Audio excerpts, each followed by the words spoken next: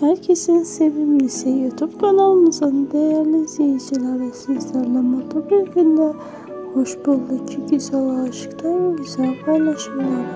Buyurun Nesin en güzel en değerli paylaşımlarla yeniden sizlerle bir arada olacağız.